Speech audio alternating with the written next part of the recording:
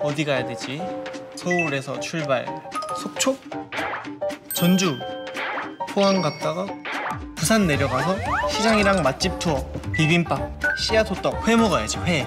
먹을 거밖에 없는 속초 208.86km 부산은 기차 59,800원. 가격이 두 배가 넘네.